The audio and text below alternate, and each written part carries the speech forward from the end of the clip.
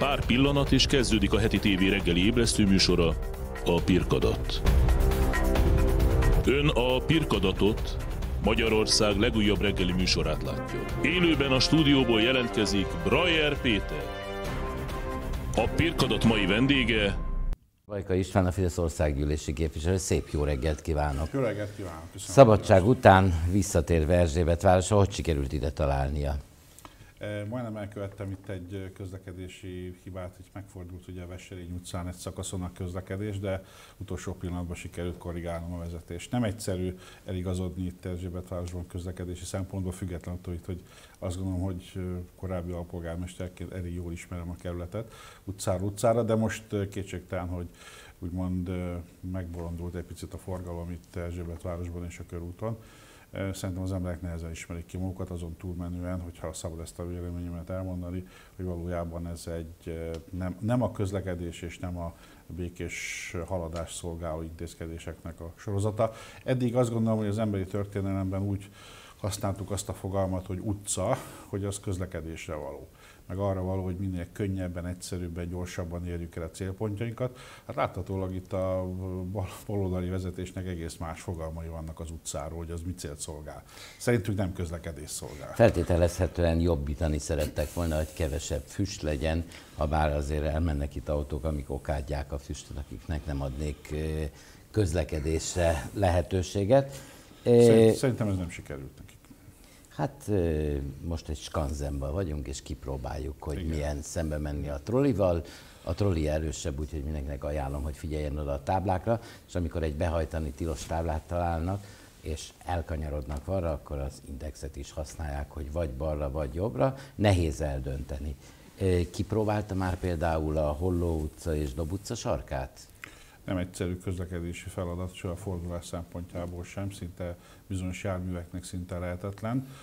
Szerintem ez is, hogy az előbb említettem, egy ilyen társadalmi kísérletezésnek, vagy közlekedési kísérletezésnek a, a terméke, és mindannyian ennek szenvedő alanyai vannak. Szinte lehetetlen helyzeteket okozott ez a forgalmi rendváltoztatást. Még egyszer, még egyszer meggyőződéssel mondom, hogy, hogy, a, hogy sokkal több káros anyag, sokkal több konfliktus és sokkal több veszélyhelyzetet eredményezett ez az úgymond kísérleti változtatás. Egy kedves nézőnk egy e-mailt küldött nekem, amiben azt írta, hogy ha azt akartuk, hogy tovább maradjon valaki Erzsébet belvárosába, tehát a kerület belvárosába, akkor ez sikerült, hisz nagy köröket lehet tenni, ezzel be lehet iratkozni az Ismerd meg a hetedik kerületet mozgalomba, úgyhogy önnek is ajánlom, hogy térképezze föl, próbálja meg, és így talán bele lehet szeretni a kerületbe.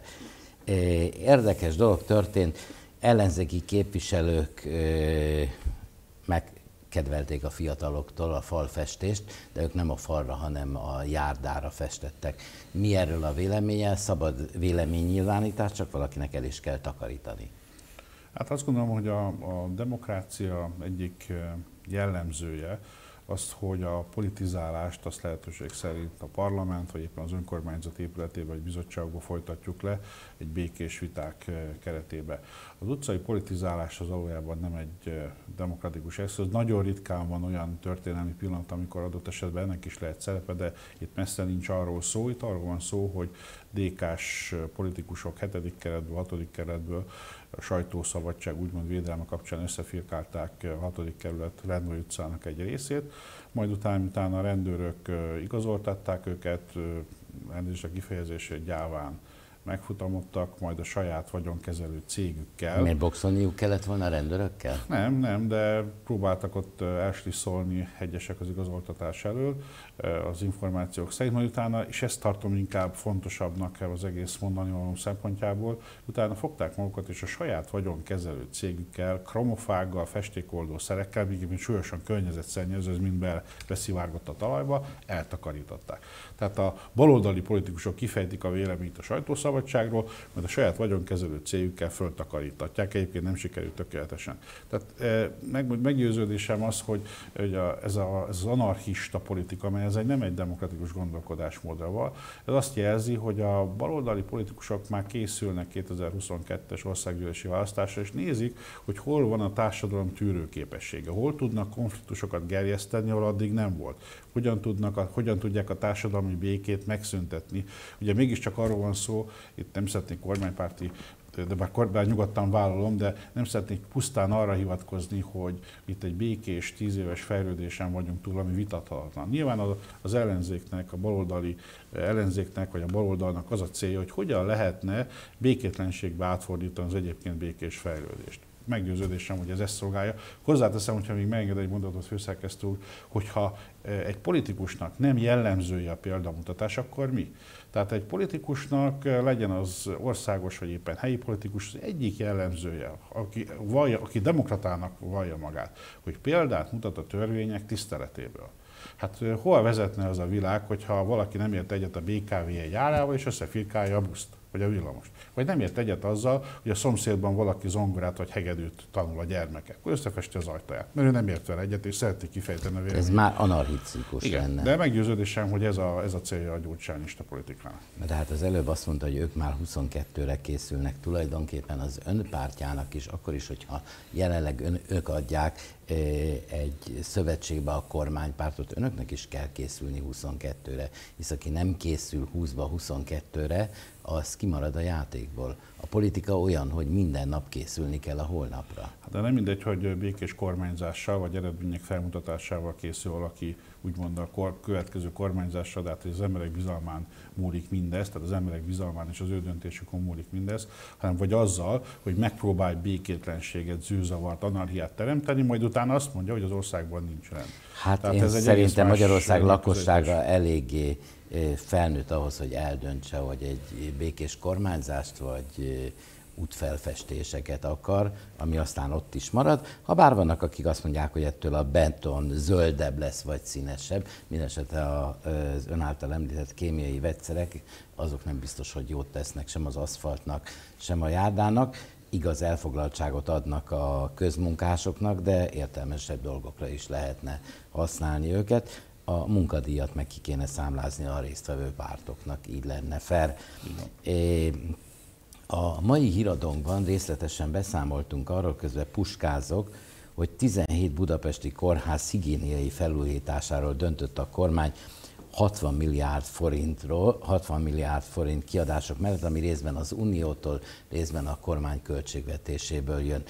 Ezekbe ön mégiscsak ismeri a 6.-7. kerületet, benne van valami kórház vagy egészségügyi intézmény a két kerületből is? Azt gondolom, hogy igen, hisz mind a két kerület fontos része eh, a fővárosnak, mind a hatodik, mind a hetedik kerület.